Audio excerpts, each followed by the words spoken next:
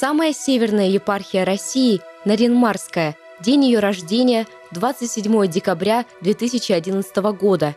В состав епархии входят Лишиконские и Мизенские районы Архангельской области, Новая Земля, земля Франца Иосифа и Ненецкий автономный округ со столицей городом Наринмаром. В начале 2013 года на встрече президента России Владимира Путина с патриархом Кириллом обсуждалась поддержка формирования новых епархиальных управлений Русской Православной Церкви. По итогам встречи было решено, духовно-просветительские центры должны появиться во всех новосозданных епархиях Русской Православной Церкви. Богоявленский храм – духовный центр нашего города. Его строительство началось в 1996 году, а в 2005 состоялось Великое Освящение – Такие храмы строили только на севере Руси. Его высота 35 метров. Общая вместимость – 250 человек. Ни для кого не секрет, что во время служб храм не может вместить в себя всех желающих. И речь о строительстве нового идет уже очень давно. 28 февраля 2014 года в Москве состоялась встреча Святейшего Патриарха Московского и всея Руси Кирилла с участниками патриаршего проекта «Русская Арктика». Именно тогда архитектор Иван Поляков представил проект «Арктический собор», которым с благословения епископа Наринмарского и Мизенского Якова занимается уже больше года и в рамках которого планируется строительство духовно-просветительского центра и кафедрального собора Наринмарской епархии – Ради работы на севере Иван Поляков оставил свое архитектурное бюро в Санкт-Петербурге. Я сказал, ребятки, все, извините, я оставляю все, улетаю в Дуринмар.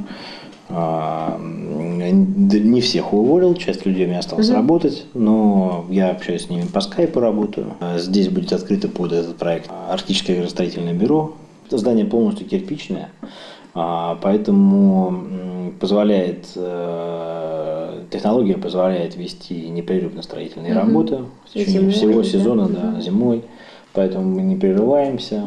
Здание а, будет построено по, с использованием всех современных технологий, но при этом а, очень традиционными а, способами Построен кафедральный собор будет в честь Успения Божией Матери. Он превысит как в размерах, так и по высоте Богоявленский храм, обеспечит оптимальную вместимость и станет частью соборной площади. Площадь объединит всю полноту государственной и духовной власти, придаст завершенность центру Наринмара. В состав комплекса духовно-просветительского центра войдут воскресная школа, школа Юнг, конференц-зал, выставочный зал, библиотека, трапезная – Предусмотрена аскетичная, но в то же время комфортная комната для временного пребывания миссионеров и гостей епархии. Все сооружения объединены в единый комплекс, что практически реализует принцип соборности и полноты церковной жизни. В отдельном сооружении будет расположен хозяйственный блок, состоящий из плотницкой мастерской, школы юнг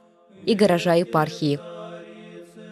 Духовно-просветительский центр будет служить, как явствует из его наименование просвещению наших людей, духовному образованию, тому, чтобы истинной веры, благочестия, правды, любви люди могли обретать здесь в самых различных формах. И в общении со священниками, и в общении с теми, кого мы будем приглашать с большой земли, и в культурных программах, и в выставках.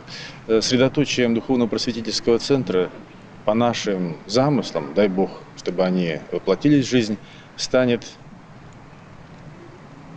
музей русской Арктики.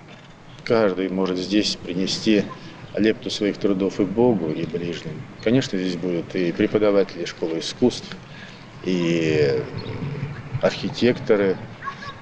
Я даже не могу и не должен ограничивать. Наверное, здесь, наверное, должен побывать, конечно же, каждый наринмарец. Строительство музея станет первым этапом работ. Он начнется в ближайшее время. Весь комплекс по плану появится через три с лишним года. Предстоит много работы. Будет снесено старое здание больницы, возможно, перенесена остановка общественного транспорта. Значительный вклад в разработку проекта внес архитектурный отдел Наринмара.